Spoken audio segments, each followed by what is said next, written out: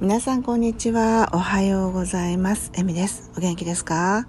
いつもご視聴いただきましてありがとうございます。本日の BGM はクリスマス Dream クリスマスの夢というものを選ばせていただきましたそして今映っているねこちらの映像ですけれども実は昨日はね妹の大好きなもうおすすめのお店カプカというところに行ってきましたこちら超おすすめだったのでね、皆様にもご紹介したいと思うんですけども、アメリカンビレッジの中にあるんですが、アメリカンビレッジのね、賑わっているところからちょっと先に行った、まあ、ヒルトンホテルの近くにあるところでございます。で、こちらのね、サラダボウルがめっちゃ美味しくって、で、ブランチでセットになってるんですけれども、それがね、デザートもね、あの、美味しいし、すごくメニューが充実しておりますね。で、やっぱりあの若い子にというかすごくおしゃれなところでねあの海も見えてとってもあのロケーションも最高なんですけどもちょっとあの中心街からはちょっと離れているからあまり知られていないのかな？どうなんでしょうかね、まあ、でも雑誌にもよく載っているところだって言っていましたけどね。このサラダボウルのあの妹のお気に入りのブランチですよ。980円でもうねいろいろついてくるんですね。私はもうびっくりして980円ですよ。もうびっくりしてしまったんですけども。そしておすすめはこちらのねあのドレッシングがパクチーでできてるやつがめっちゃ美味しかった。うんそして飲み物もついてきます、えー、スープもついてきました。もうね本当にこの980円という安さに私は本当に驚いてしまったんですけども。まあアメリカはね今ね安いからねハンバーガーセット頼んでも1000円以上しますよ。1500円とかね。もう本当に超おすすめで。ございます。そしてねこちらのねちょっとお酢が入っているドリンクがねまた無料でね自由にどうぞということでねこれも美味しかったですね。そして、えー、みんなでねちょっとまずは乾杯をしまして、えー、そしてこちらがセットできたサラダにスープに、えー、私はクロワッサンとあこれはご飯がクロワッサンか選べるんですけどねソーセージに、えー、スクランブルエッグがついてきて908年これはねうちの両親が頼んだステーキですねここは和牛ステーキそしてこのデザートも美味しかったうん、これは1000円ちょっとしまして、ちょっと父がふざけておりますが。えー、ということでね、このデザートは1080円ぐらいだったかな。うん、でもね、ここめっちゃおすすめ。なんか赤ちゃんをね、抱っこした人がいて、なんか父に懐いておりましたが、ということで、このロケーションは最高です。はい。ここからね、ちょっとね、イルカもね、たまに見えるということで、ここでね、イルカを飼っているそうですね。はい。なので、たまにイルカジャンプしてるのも見えることもあるというロケーションでございましたが結構外人の方もね多く来られる場所だということでした、えー、この日も来ておりましたけれども是非おすすめの場所になりますとにかくねロケーション最高だしねおしゃれなのねそしてねもう結構長いもできますよねうんということでね沖縄に来た際は是非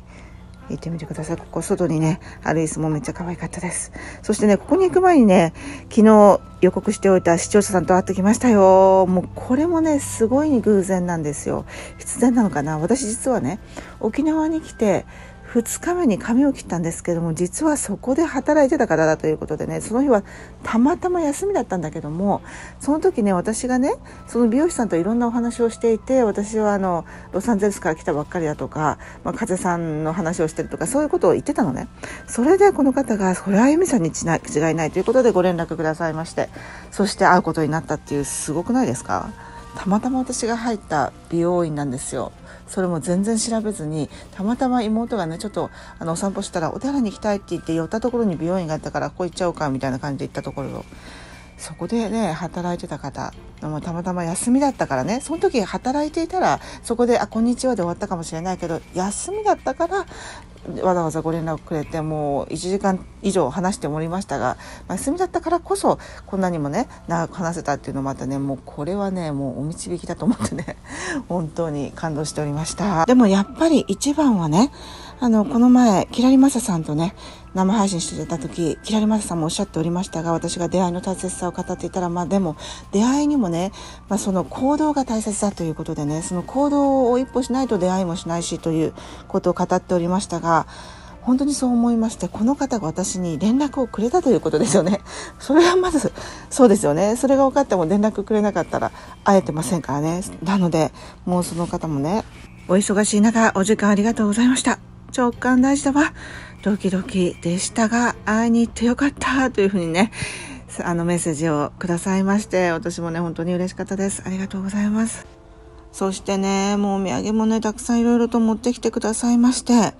そして、えー、先ほどこちらはメッセージをいただいたんですけども、おはようございます。昨日のカレンダーの友達です。ほっこりできるのでよかったらということでね、昨日そのカレンダーお友達の作ったというのもお土産にいただきまして、それがね、とっても素敵だったんですね。もうメッセージもちょっと風さんに通じるところもありましてね、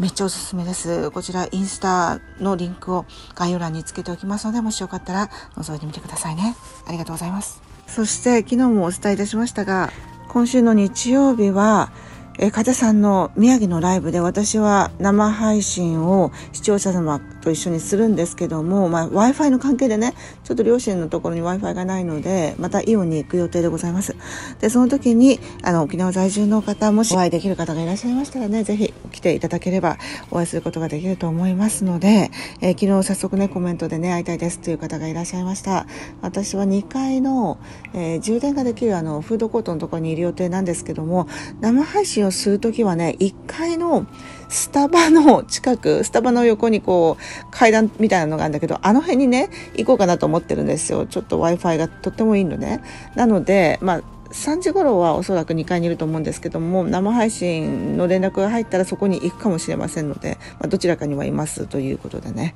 はい、えー、お会いできる方がいらっしゃいましたらぜひ行動してみてください楽しみにしておりますそしてもう羽田でのオフ会も1週間を切りましたもうこちらはね、もう北は北海道からもう九州からって本当にもう日帰りでもね、たくさんの方が来てくださいます。関西からもね、もう本当にありがたいんですけども、こちらはね、風さんのフリーライブじゃありませんけれども、フリー、無料でどなたでもご参加できますので、ぜひぜひね、皆さん、えー、にお会いできるのを楽しみにしております。そして風さんからはアリーナツアーのバンドメンバーが発表されましたよね。いや、いつものね、タイキングさん、そして、ヤフルさんもまた演奏してくれるんですね。これは貴重ですよ。もう行く方本当にね、楽しみですね。そして、風さん、こちらのお写真もね、YouTube にアップされておりますが、一瞬、え、どっかの外人と思ったけど、きっとこれ風さんだよね。いやー、すごい。なんか別人みたいだけど、めっちゃいい写真ね。あと、昨日、ゆりさんから教えていただいたね、星、皆さん、ご覧になりました？もうねこっちはね曇ってて見れなかったの。でも視聴者さんテリさんからね見れたっていうねご報告もあってね。いや見れた方本当に良かったですよね。またこういうのがあったらねぜひぜひ教えてください。もう私星好きな子なのでねもういつか満点の星空流れ星たくさん見たいです。そしてそのテリーさんからね今日の生放送 FNS 見ましたか？生田ちゃん意外と良かった。アイドルなのに舌打ちまでして、ようやってくれたということで、これ皆さんご覧になりましたか？ピアノでね、なんなんの弾き語りをしてくださっておりましたが、本当ね、良かったですよね。すごく嬉しいですね。でもね、風さんの曲をこうやって演奏してくださるのはね。そしてね、風さんといえば、リーンと美穂さんからまた夢を見たというコメントをいただきましたのでご紹介させていただきますね。えみさん、本当に沖縄満喫されているのが毎回ものすごく伝わってきます。特にあいうえおのおの充実感が半端ないですね。ってこれおって何？あいうえおって何？えおって美味しいってこと？食べ物ってこと？っていう気がしますが。ところでまた今朝夢を見たので忘れないうちに小さいホールでのライブ。私は右手端の最前列にいました。ライブは2部構成のよう。一部は風さん姿は表さない形の演出で進行して聞きました。途中かなり後方席に座っていた友人2人がなぜか大喧嘩。そして1ホールの幕間に席を立ち会場から出て行ってしまいました。2人が心配だからと並んで座っていた友人たちがごっそりと後を追いついていかないとならない雰囲気にもかかわらず私はいけないここに残ると涙目で言い放ち空いてしまった席の一番中央に近い席に移動する私こういうところ若干してる。友情より風さんを選んだ瞬間でした。なんか小説みたいだね。そんな様子を風さんはステージ脇から見ていたようで、なんか帰ってしまった人ぎょうさんいて空席目立つの残念やけど、みたいな放送が流れ、そんなこと現実にはありえないことですが、2部が始まりました。風さんはステージから降りてきたり、かなりファンサービスの多いライブだったと思うのですが、この辺がまたしても曖昧な記憶。せっかく一人残って見ていたのに残念。って、まあ夢の中のことではあるのですけど。そして今回もまた一番の立ち位置の私でした。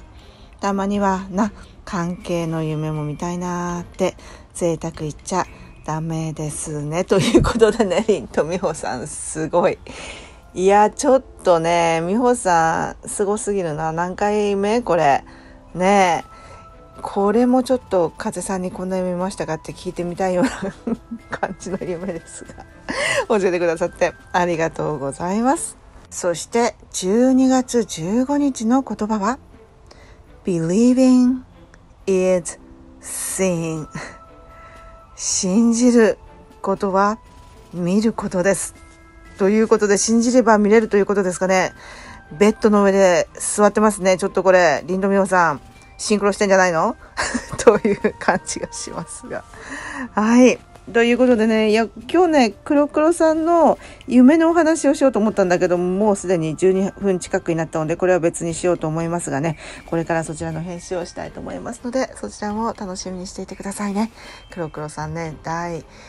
2、もう黒黒さんは夢を叶えた第1号なんですけども、その2つ目が叶いました。黒黒さんのね、素敵な音声も届きましたので、楽しみにしていてくださいね。ということで、今日も最後までご視聴いただきましてありがとうございました。今日も皆様にとって素敵な一日になりますように。Have a beautiful day, everybody. エミでした。ではまた。